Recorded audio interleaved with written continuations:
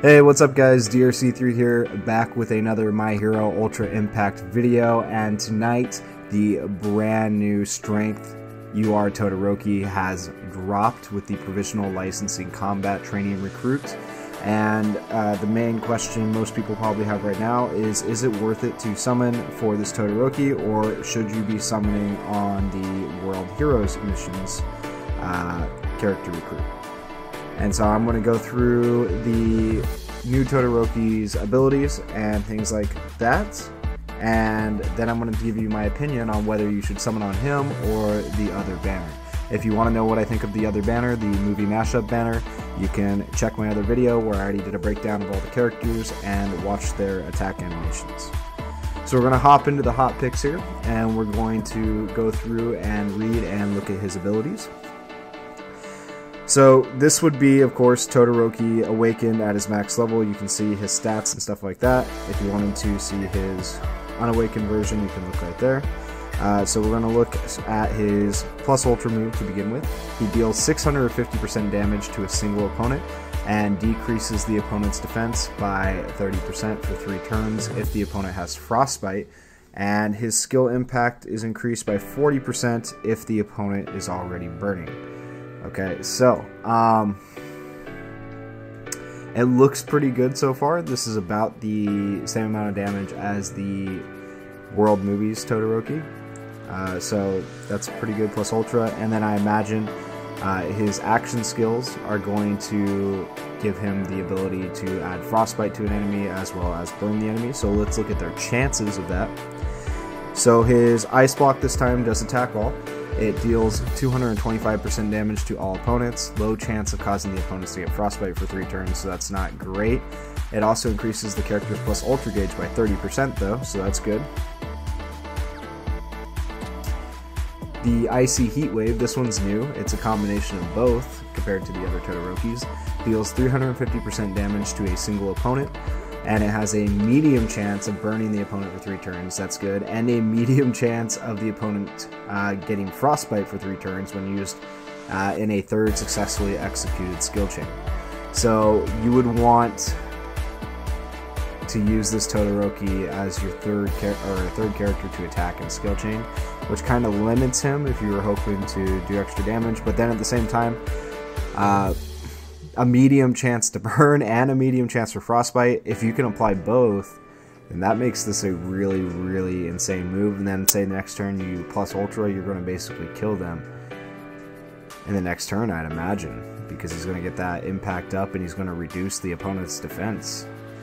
Um, I, I really see this Todoroki being really, really good in PvE, especially in things like the USJ. Uh, I don't know how he would work in PvP. It seems like he's built more for those long, drawn-out fights where the characters have a lot of health.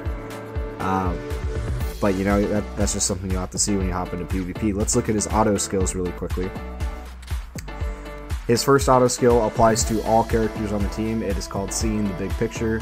It decreases the speed of all opponents by 15% for three turns when a wave starts. Okay, that right there that's huge for PvP. PvP is largely about speed and how much speed you have. If you have more speed, you're going to get your turn first. So I think this Todoroki, uh, just based on that alone, is going to be really good for PvP.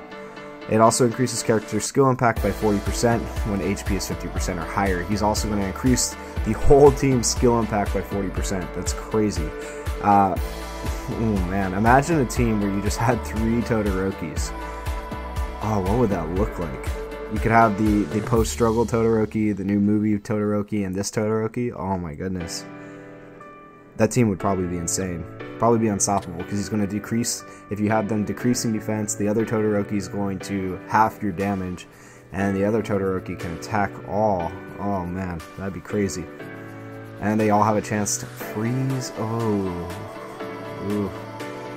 And whenever you freeze, you get a crit. That just it's looking nasty. Alright, and his other auto skill, taking a step forward, once per battle, reduces characters' action skills cooldown by 3 and increases their plus ultra gauge by 50% when HP is 50 uh, below 50%. So that is pretty dang good. Okay, so I really like this Todoroki so far. Let's look at what else is on the banner. We have the SR uh, Inasa Yoarashi.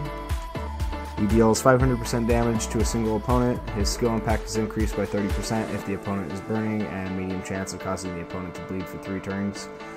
Um, this guy's cool, and he looks like he'll be pretty decent for an SR. I kind of wish they came out with the UR version, but that's alright. Uh, let's look at this. Deals 200% damage to all opponents. Okay, he does attack all, decreases the speed of opponents by 25%. Actually, that's really good for an SR. And a low chance of causing the opponents to bleed. That's not really as important. Okay, Passion Forever. Uh, increases character's power by 40% for 3 turns. Also increases speed of all allies by 30% for 3 turns when used in a successfully executed skill chain. And the cooldown time is 5 turns. Okay.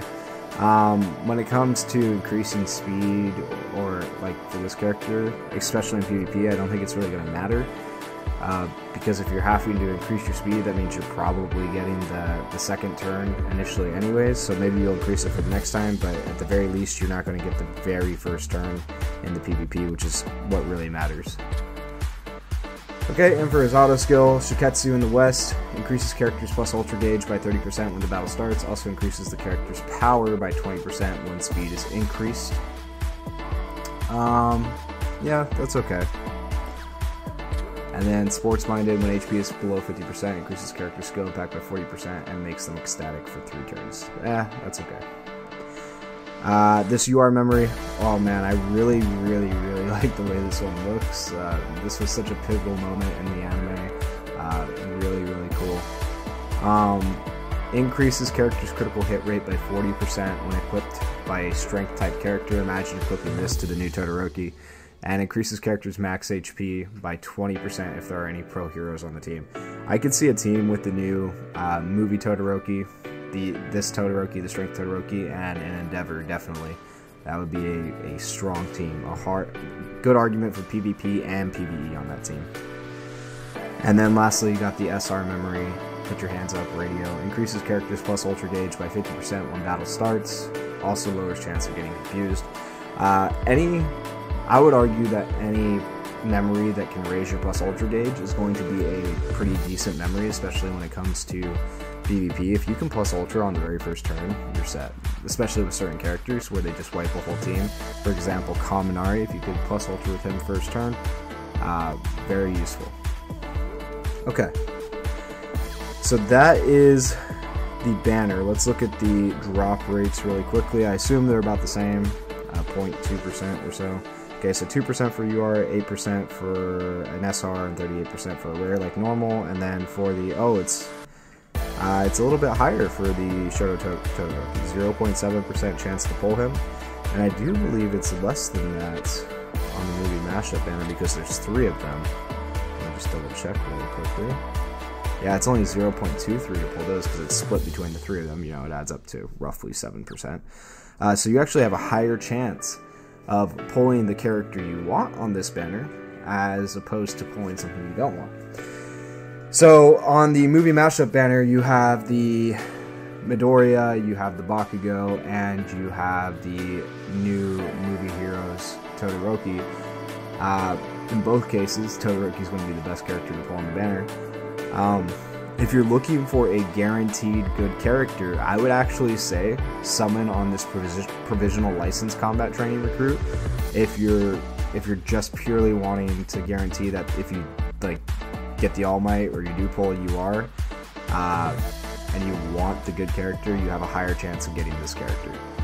However, if you're okay with getting the Midoriya or the Bakugo who aren't quite as good on the movie mashup banner, uh, then do the movie mashup pull because you do have more characters to possibly increase your UR collection on that banner.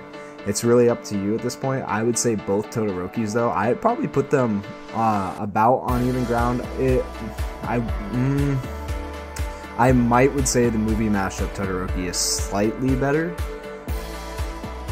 But then again, I haven't tried this Todoroki, and I think really uh, them working in tandem is what's going to be good. So if you can pull both, if you have the money, if you have the ability, uh, pull both. Otherwise, uh, this would be the better banner to get the guaranteed character you're looking for. If you're okay with the Bakugo and Midoriya, do the other banner. So with that said, I'm gonna hop in here and test my luck uh, with a couple of summons, and we'll see how it goes.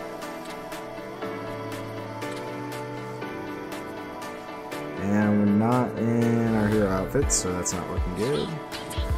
You never know.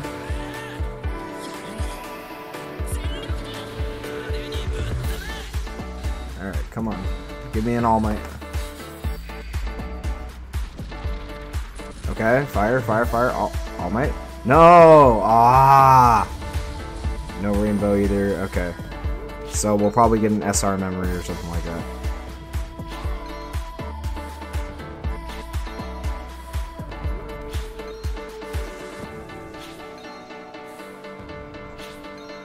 Maybe. ah, yes. Quiet Courtyard. Oh, you know what?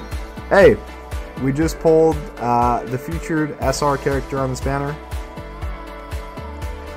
I am kind of sad that it, it, was only him, but at the same time, you know what? That's something new, and he he was not looking terrible for an SR. But once again, we're looking for yours. I'm not going to be upset about that though. Ah, come on, man. Come on.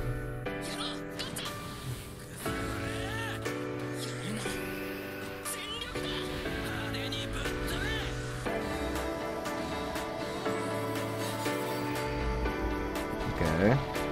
No fire, no All Might Ah oh, man, this one's this one's a trash trash bowl.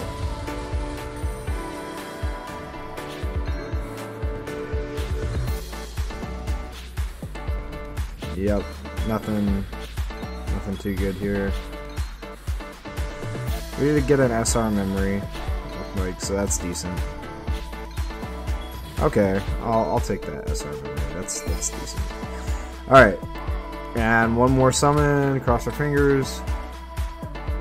Ah, man, and still no hero outfits. It's so rare to see those hero outfits. It's so hype when you see them, but so rare.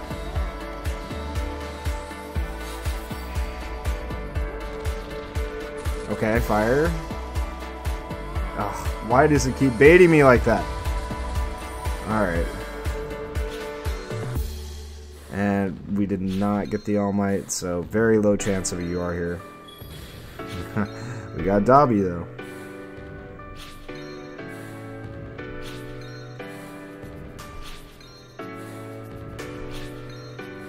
Ah, yes. An exemplary fan. Oh, disappointment. Alright. Anyways, that was the new Todoroki. That's the banner. You can see the poll rates for yourself. Let me know if you got luckier than I did in the comments below. Uh, let me know what banners you're going to summon on, and thank you for watching. Peace.